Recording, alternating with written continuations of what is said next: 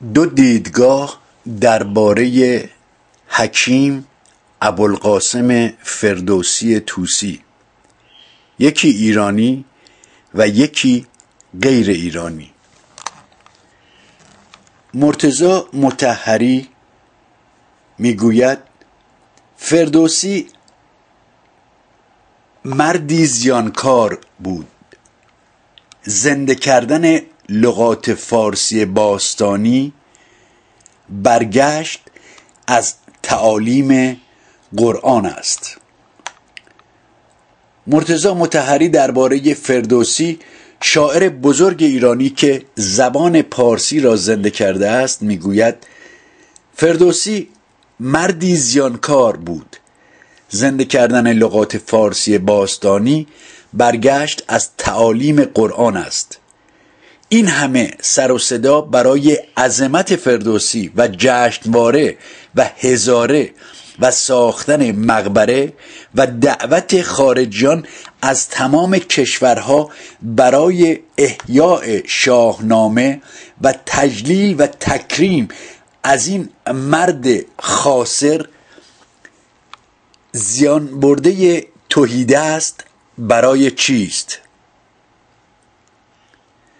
برای آن است که در برابر لغت قرآن و زبان عرب که زبان اسلام و زبان رسول الله است سی سال عمر خود را به عشق دینارهای سلطان محمود غزنوی به باد داده و شاهنامه ای را گرد آورده است.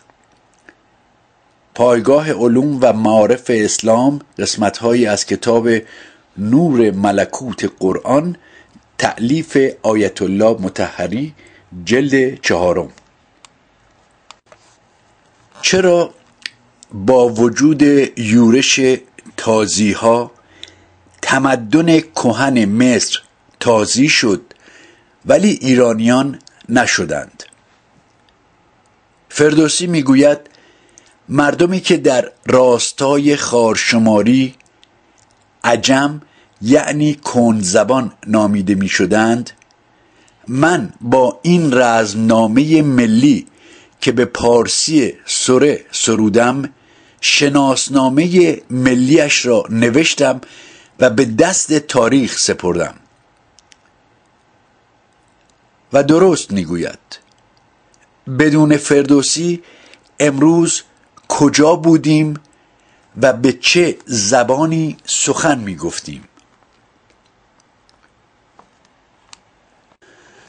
روزی از حسنین هیکل پرسیدند شما مصریان با آن پیشینه درخشان فرهنگی چه شد؟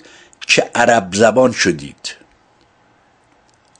محمد حسن هیکل روزنامه نگار و نویسنده برجسته و مشهور مصری جواب داد ما عرب زبان شدیم برای اینکه فردوسی نداشتیم.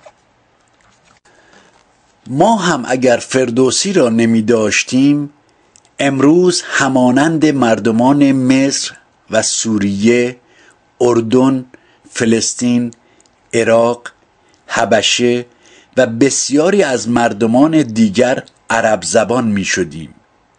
اینها هیچ کدامینشان عرب نبودند. زور شمشیر و نداشتن فردوسی ها آنان را عرب زبان کرد. اما ما عرب زبان نشدیم.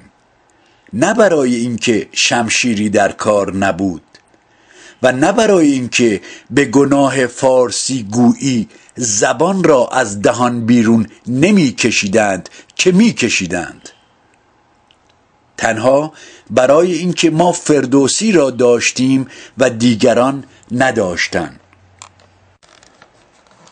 جهان کرده از سخن چون بهشت. از این بیش تخم سخن کس نکشت. بناهای آباد گردد خراب ز باران و از تابش آفتاب. برافکندم از نظم کاخی بلند که از باد و باران نیابد گزند. نمیرم از این پس که من زنده ام که تخم سخن را پراکنده ام. شیرزادگان معتقد است معدود ایرانیانی با نام سعی در آلوده کردن نام عظمت و بزرگی بزرگان کرده. و جایگاهی برای خود دست و پا کنند که تنها. به این گفته بزرگ دیگر ایران زمین اکتفا می کنیم ای مگس ای مگس عرصه سیمرغ نه جولانگه توست. به امید آگاهی و آزادی پاینده ایران و ایرانی.